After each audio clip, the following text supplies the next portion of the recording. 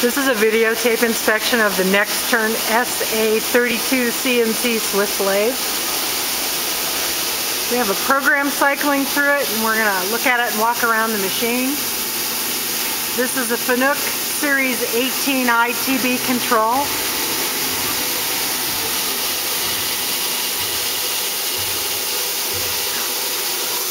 We're looking at the main spindle.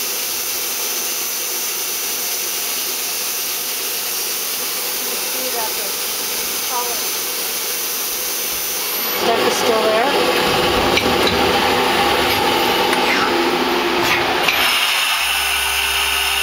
Going in to do a drill. See it's got live back working that drives off the sub spindle. Or ID.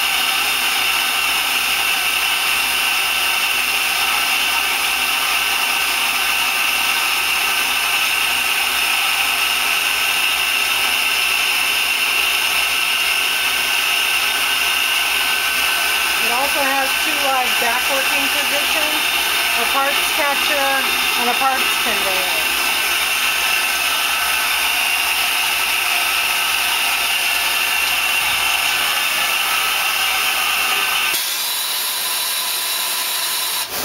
Got air blow for subspindle eject. We're going to walk around the rest of the machine.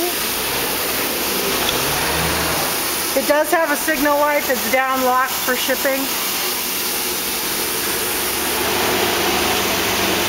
Inside the electrical cabinet.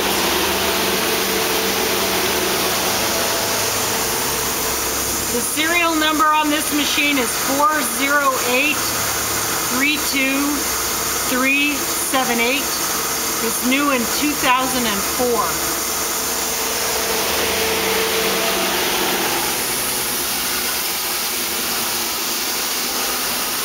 We'll take a pause on this video and then we'll take a quick look at the the uh, Iemca bar loader that comes with it. This is the Iemca bar loader that comes with the SA32 Nexturn CNC Swiss lathe. It does have the blue style channels. Um, installed right now is an inch and a quarter set. It also appears to have a three quarter inch set with a telescoping nose for that set. The serial number